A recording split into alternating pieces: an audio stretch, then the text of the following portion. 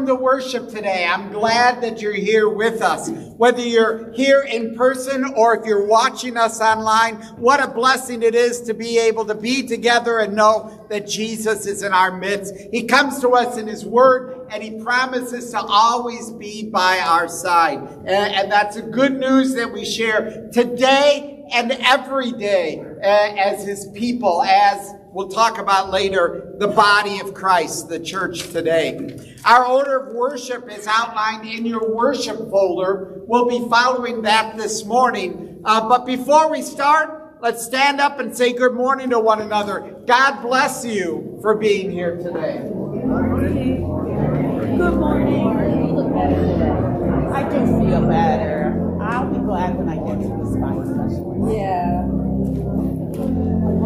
Projecting in there. Do something. Works of magic. No, they have not injected anything yet. They're waiting for the spine specialist. Drugged.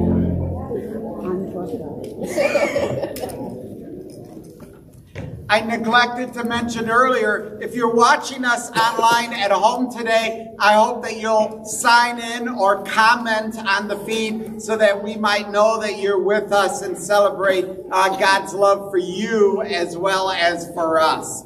Uh, in the meantime, we will begin our worship service today by, of course, calling upon God. In the name of the Father, and of the Son, and of the Holy Spirit. Amen. Amen. Uh, if we say we have no sin, we deceive ourselves, and the truth is not in us.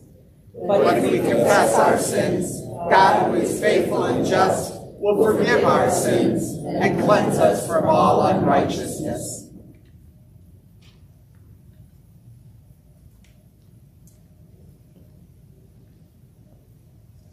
So let us then confess our sins to God our Father.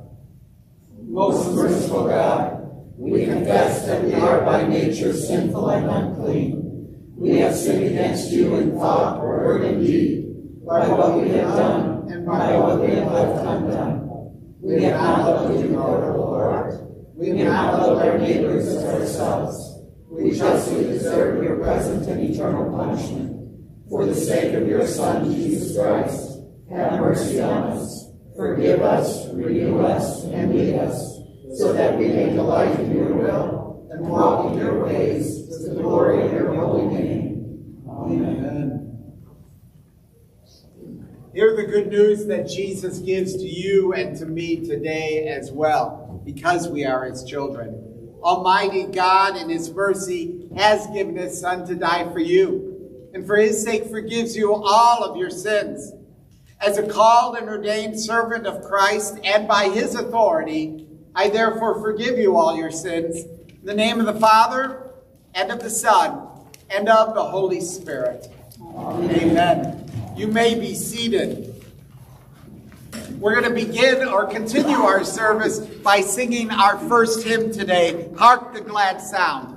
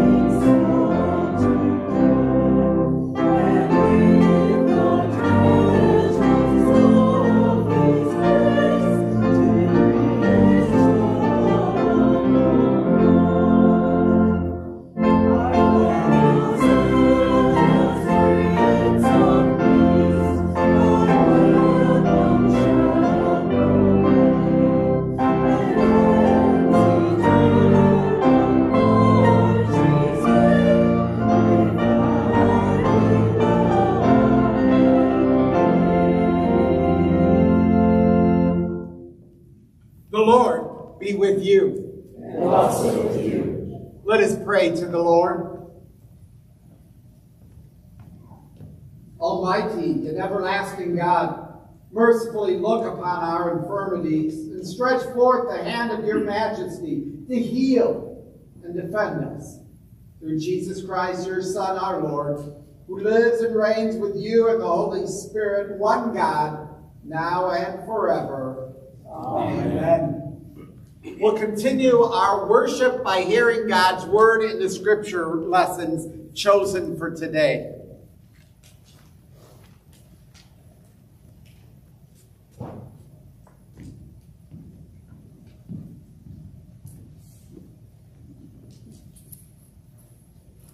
The first lesson for today is taken from Nehemiah, the eighth chapter, beginning at the first verse. All the people gathered as one man into the square before the water gate, and they told Ezra, the scribe, to bring the book of the law, Moses, the law of Moses, that the Lord had commanded Israel. So Ezra the priest brought the law before the assembly, both men and women, and all who could understand what they heard on the first day of the seventh month.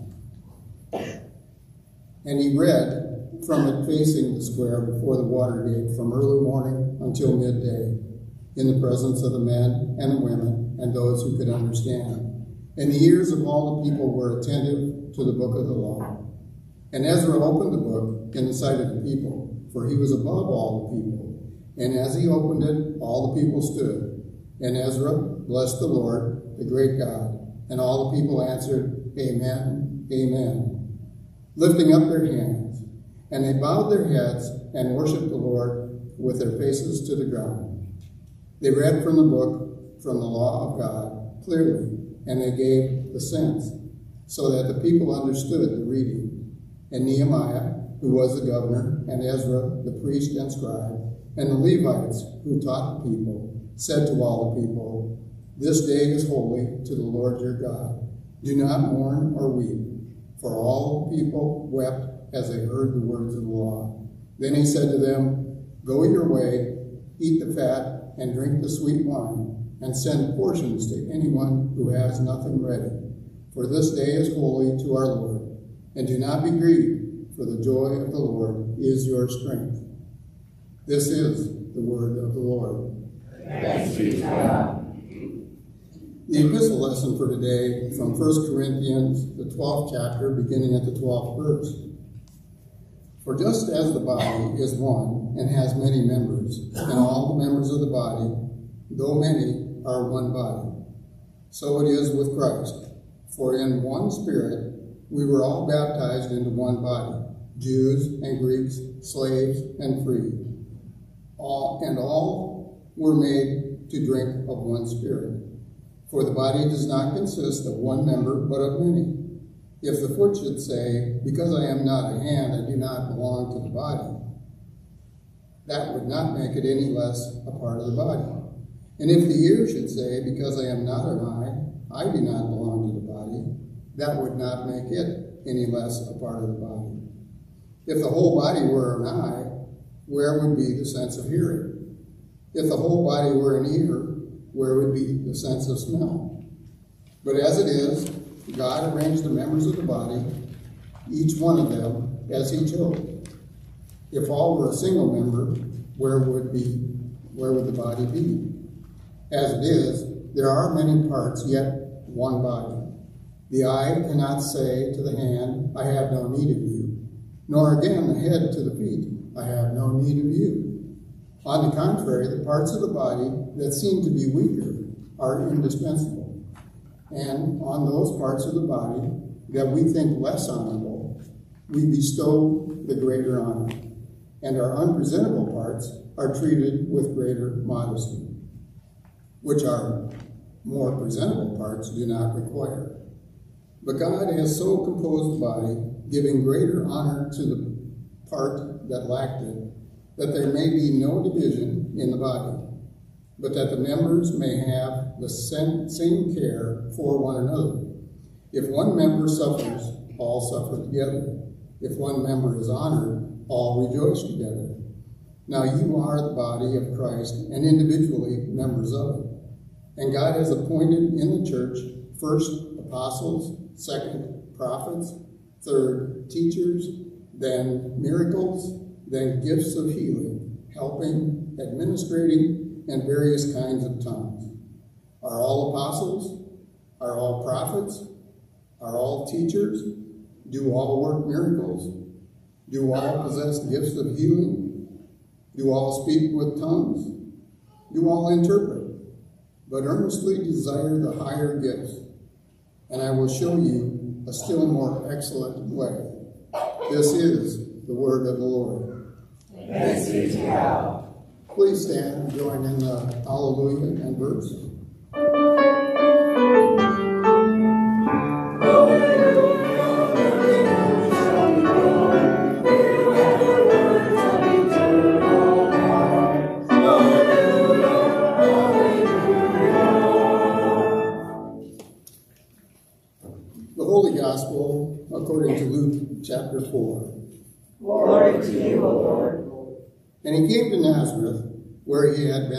Brought up. And as was his custom, he went to the synagogue on the Sabbath day, and he stood up to read. And a scroll of the prophet Isaiah was given to him. He unrolled the scroll and found the place where it was written, The Spirit of the Lord is upon me, because he has anointed me to proclaim good news to the poor. He has sent me to proclaim liberty to the captives and recovering of sight to the blind, to set at liberty those who are oppressed, to proclaim the year of the Lord's favor. And he rolled up the scroll and gave it back to the attendant and sat down. And the eyes of all in the synagogue were fixed on him. And he began to say to them, Today this scripture has been fulfilled in your hearing. And all spoke well of him and marveled at the gracious words that were coming from his mouth. And they said, Is not this Joseph's son? And he said to them, Doubtless you will quote to me this proverb Physician, heal yourself. What we have heard you did in Capernaum, do here in your hometown as well. And he said, Truly I say to you, no prophet is acceptable in his hometown.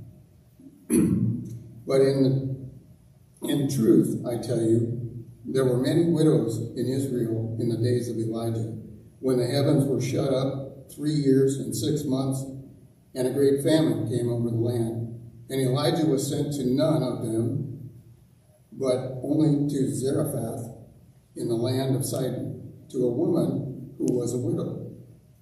And there were many lepers in Israel in the time of the prophet Elisha, and none of them was cleansed, but only Naaman, the Syrian. When they heard these things, all in the synagogues were filled with wrath.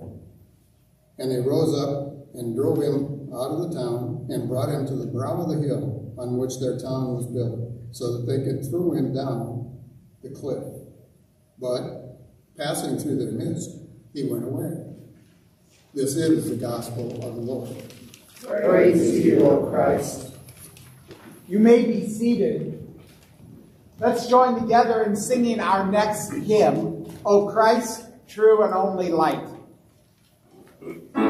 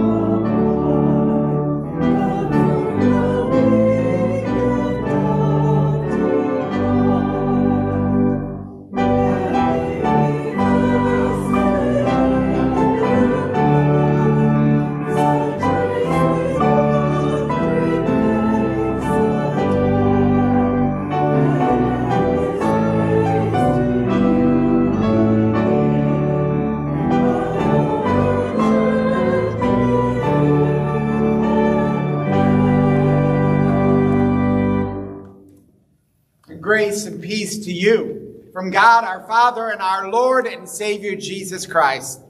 Amen. Our Bible passage that this morning's message is based on is the New Testament lesson. It's Paul's letter to the Corinthians. Let me read just the opening verses to you again. Paul writes, For just as the body is one and has many members, and all the members of the body, though many, are one body, so it is with Christ. For in one spirit we were all baptized into one body, Jews or Greek, slaves or free, and all were made to drink of one spirit.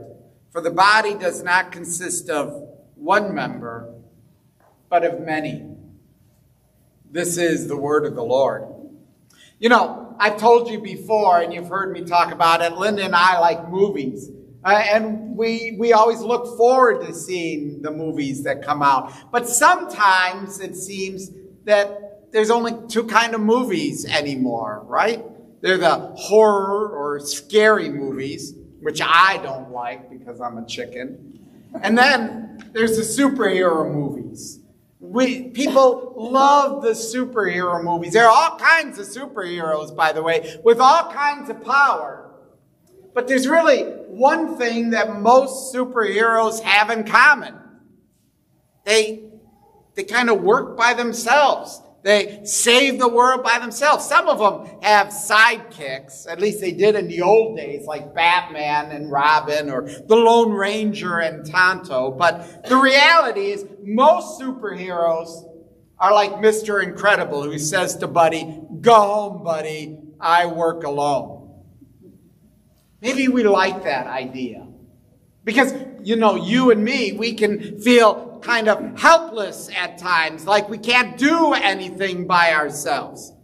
Maybe you and me, we seem to spend more time, or used to at least, in meetings talking to other people about coming to an idea of what we can do. We like the idea of the one person who goes forth and who can change the world all by themselves. Maybe and I think this is at the heart of the movies, right? We like to imagine in one way or another that we can be superheroes, changing everything by ourselves. But then, then we leave the theater. We come back to the world and we realize we're not Lone Rangers after all. And so we try to find places in our lives where we can take charge. With our families, when I say to Linda, bring me my supper now. yeah, that's her reaction to that too. and sometimes in our faith, we like to think that we're superheroes, that we can do it all by ourselves, that we're lone rangers. Maybe it's because we think our way is the right way. All the other people, they don't understand, but if you do it my way. Maybe we buy into that old saying, if you want the job done right, do it yourself. You know, it doesn't work in the church either. And it doesn't work in the church not because other people don't get it. It doesn't work in the church because that's not the way God designed the church to work. Now we're finally getting around to what Paul says in the, his letter to the Corinthians. The, the church is the body of Christ. And it's not made up of lone rangers, but it's made up of Christians in communities. Uh, a lone ranger Christian is a, a contradiction in terms. I, if I think all the way back to high school, they call that an oxymoron. This isn't the way that God designed the church. He designed us to be a body, to be His body. And the trouble is, you and I, we like to think that our way is the only way, that what we want is the most important thing in Christ. But God tells us, He reminds us that we're not alone in this. We're part of something bigger than ourselves.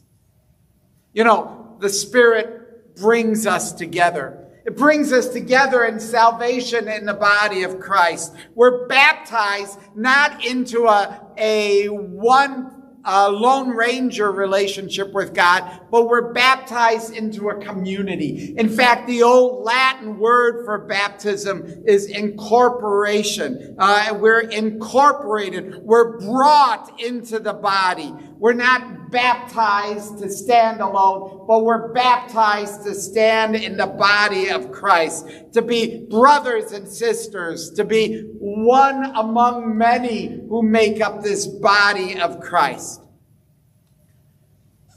And Paul says, it's like our physical body. We can take for granted all the different pieces that are in our body, but if something's not working, it affects the whole body. We heard all fall long about Aaron Rodgers' little toe. We even saw it on camera. It's just his little toe. How could that affect the whole game? And yet, we saw that it did. That one little bone affected uh, everything that he did. And it's the way it is with, with us and the body of Christ too. We need to all be together, to all be working with one another. Uh, we can't work if some are left out. And that's because though we are different from one another, though we're different as members of Christ, we need each other's gifts to work as God's people together. Just as the human body needs all its pieces to work as one. We can't go alone as Lone Ranger Christians because we need one another for the church to function healthily, to function properly, to function fully. Everybody connected together and the head of the church, Jesus Christ, sustaining and empowering his people through his sacraments. Paul has this whole nice little story and illustration of the body of Christ. And we're wondering, what does that mean for us today? It's this. See, this is important.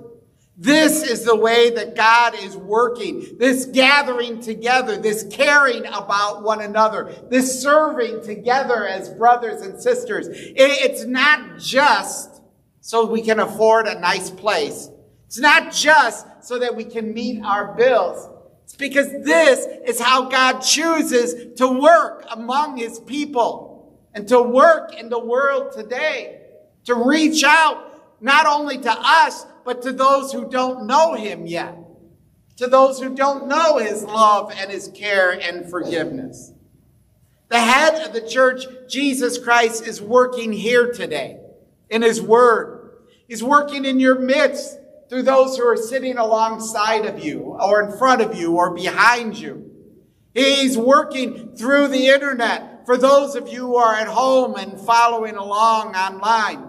He's reaching out to you so that you might know his love and his care in your life as well. And it's when we're serving with one another, when we're suffering with those who are suffering in our midst, rejoicing with those who are celebrating in our midst, loving and forgiving and caring for one another, sharing in happiness and honor, in sadness and in despair, that we are reflecting the power and the love of God that He gives to you and to me. Church, worship, our being together as a, a unified community. It's not something that's dreamed up by us. It's a plan of God. Because here he can multiply his gifts, multiply his work, multiply his love, so that we can absorb more and more, so that we can reflect more and more so that we can share more and more with those who are all around us. God has called us to be and to live in community as the body of Christ together. There's a story from the Olympics in 1972, and there was a Russian weightlifter. He ended up winning the gold medal in his class. He was a heavyweight, and he lifted this enormous barbell filled with weights. And then he, he leaves the stage. You know, they drop it just to show you how big it is, I think. And he leaves the stage, and they had six Mounties, Royal Canadian Mounted Police, come up. And their job is to what? Move the barbell for the next guy, because he's got his own pre-set up and, and going. But there's a problem, because see, all six of them together couldn't lift what the one man had just lifted. It wasn't because they didn't have enough strength. It wasn't because the one man was, was stronger than six good, healthy Mounties, but it's because they don't work quite together the way one man does. It's, a, it's an illustration in the story of the church. We're called to, to be together, that, that we can do as one body more than we can do individually, each going our own way. It's how God multiplies his gifts and talents that he gives to you and to me. When we are serving together, when we are serving with one another, when we're learning, when we're loving, when we're forgiving as a body of Christ, God is at work, accomplishing more than we can do on our own. Are we trying to be Lone Ranger Christians? Are we trying to, to be on our own, to think it's my business and nobody else's? If so, God calls us back. He calls us not to an American model or to a, a Jewish model, but to his model. To be a community, a body of Christ, to have firm connections to one another. Because there, he says, there you'll receive all my blessings. There you'll be surrounded by my love and forgiveness. There you'll see again that I am in your midst. The Jewish people under Moses are called to leave Egypt. And they, they go out in the Exodus. And as they're camping in the wilderness, God gives them a street plan. Don't just set up your tents willy nilly or randomly, but do it in this way. Why does he get into such detail? because his plan has God and the tabernacle at the center and everybody else gathered around facing him. And you know what? That's still God's plan for you and for me. We're not just off on our own streets, in our own little cul-de-sacs, in our own little micro communities, but he calls us to be together with him in our midst. And in word and in sacrament, he strengthens us. He blesses us. He unites us. And he gives us reasons to rejoice and to know that he is always with us. A hope for the future. A picture of heaven to come you are, Paul says, one body, the body of Christ. We're tied together. We're united as his family. We're committed to one another. It's not my plan. It's not your plan. It's God's plan. And there he leads us in his grace and by his spirit. May we always reflect that love that he has given to us. Amen. May the peace of Christ that passes all understanding keep your hearts and minds in true faith until life everlasting. Amen. Having heard God's word, we respond by confessing our faith in the Apostles' Creed. Would you stand if you're able? Join with me. I believe in God the Father Almighty, maker of heaven and earth, and in Jesus Christ, his only Son, our Lord, who was conceived by the Holy Spirit, born of the Virgin Mary, suffered under Pontius Pilate, was crucified, died, and was buried. He descended into hell. The third day he rose again from the dead. He ascended into heaven, and sits at the right hand of God the Father Almighty.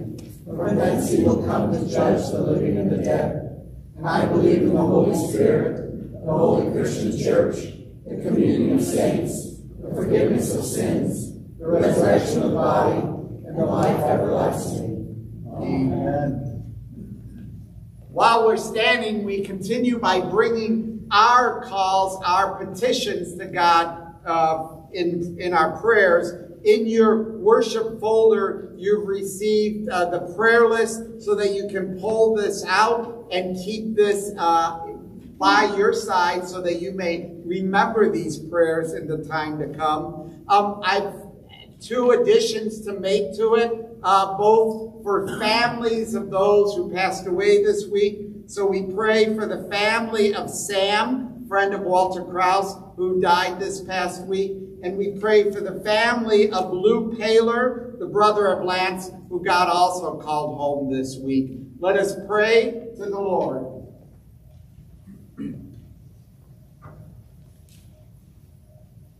Dear Lord Jesus, we confess at times we want to be Lone Ranger Christians. We want to do everything by ourselves because we figure that's the only way it's going to get done right. We don't want to be uh, bothered by other people's messes or confusions, or even worse, their hurts and pains. We, we justify this as self-reliance. It's a servant attitude, when really it's a selfish desire to be in control and to have things done our way. For this, our desire to be seen as superheroes, forgive us, O Lord. Lord, in your mercy, remind us again today, by your Holy Spirit, that we have been brought into the body of Christ, that in our baptism, we've been made not to stand alone, but to be brothers and sisters with all who are believers around us. Although we are different from one another, we need one another. And you have provided your gifts to all of us to work and join together. Help us to serve together, to, to suffer together, to share together, to celebrate in honor and happiness, to suffer and hurt and pain, to work and serve and love and care. By your Spirit, make us truly the body of Christ in our congregation and in our world today. Lord, in your mercy, O God of love, deliver the sick from their illnesses, give relief to the suffering, help the troubled to know peace of mind, and be with the grieving and those in their final days. Give patience to those who must bear with their own infirmities or disabilities. And we pray that you would hear us specifically for those who are on our minds and in our lives. Be with Kathy, Brian, Bill, Mary, Michael, James, Larry, Ron, Danielle, Ray, Isaac, Harold, Amber. Be with Andrew and Latonia, with Matt and Steve, with Ron, Barbara, Jean, and Noah. Be with Dick and Dave, with William and Allison, with Robin and Lance and Ronald eh, and Mike. Be with all that we name before you in our own hearts and minds, even right now.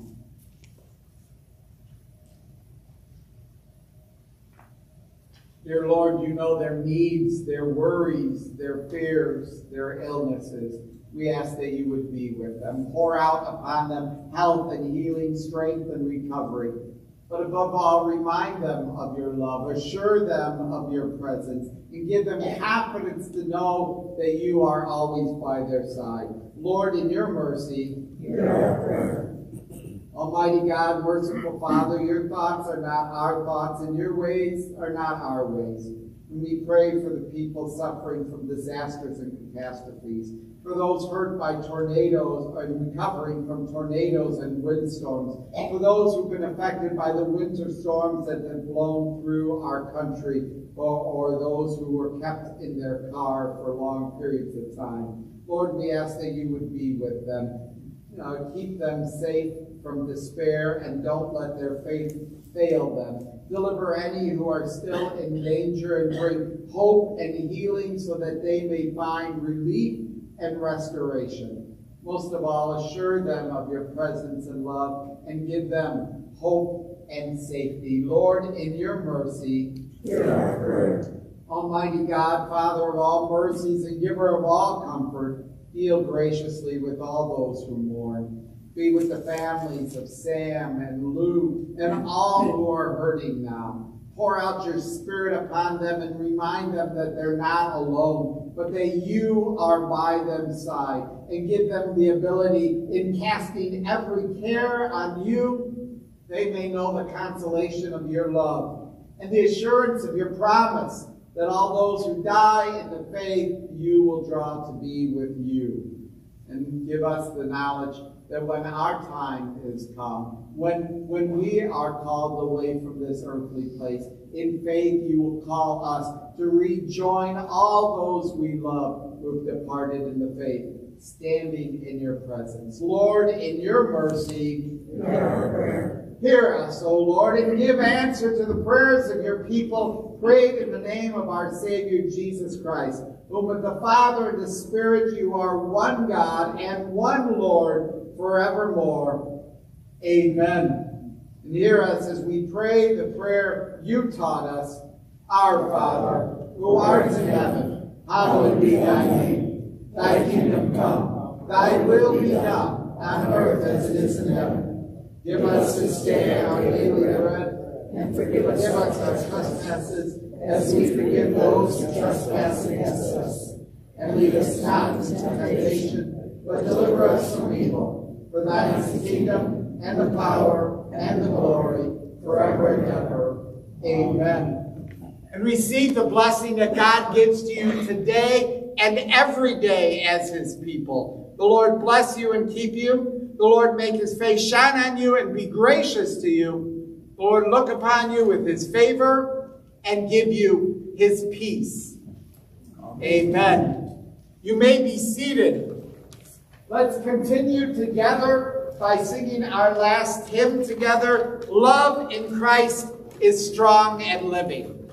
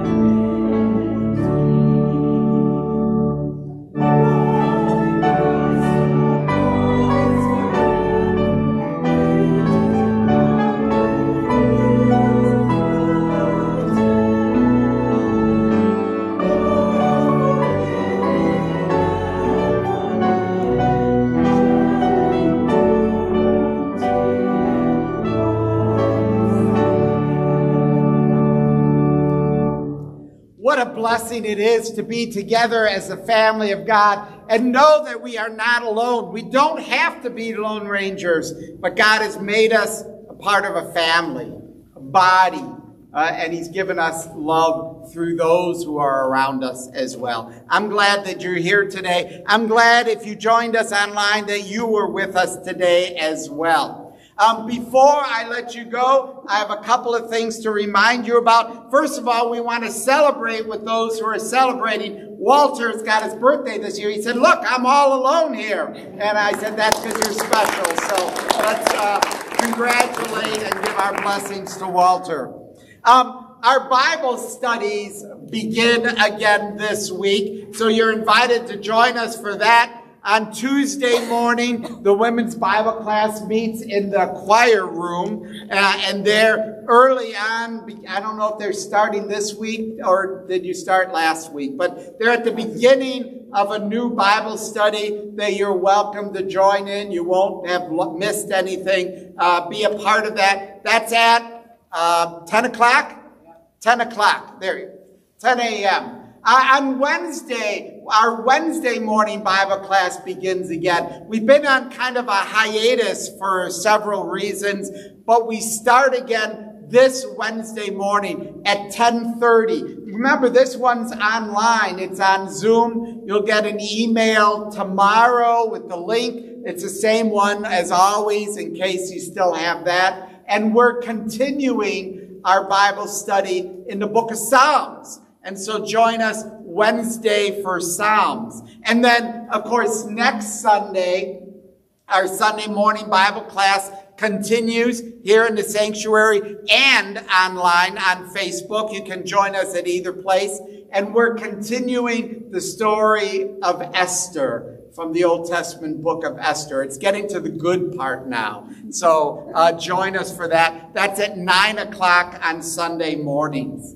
Um, going on this week, we have the community center meeting on Tuesday afternoon. Um, we have the sign up for volunteers. We need help for sign ups. Uh, we don't have any ushers. I know for next Sunday, uh, we need somebody to help out with the camera next week and in the weeks to come. There's lots to sign up out there. It's on the blue table in the entryway. And by the way, there's a new sheet out there uh, already we're starting to look forward to our Lenten soup suppers. Uh, they're still a month away. They start at the beginning of March. Uh, but if you'd like to sign up to provide a soup or provide some of the side dishes, uh, that's out there on the blue table as well. I urge you, if you talk to me at Advent, so we're moving the time of the suppers to 6 p.m. Remember, church is at 7 o'clock. Now we'll start eating together at 6 p.m. Uh, so plan that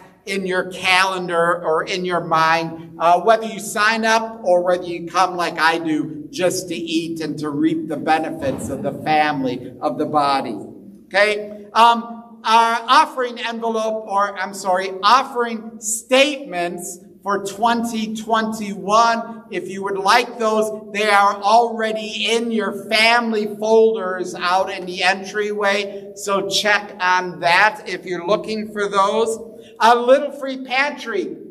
It continues to be used and, needed in our community. We, we need real, we can use anything, but especially this week, it seems we need pasta, rices, canned fruits or canned soups um, those kind of meals. Uh, bring them in because they get taken out to our little free pantry and the community, the people who don't have enough to eat, they, they come and they take. And it's God at work in our midst and through us. Okay? Did I miss anything that anybody needs to share? Okay. Thank you very much for coming. Stay for our coffee fellowship time and, and sharing together and go in peace and serve the Lord. Amen and amen.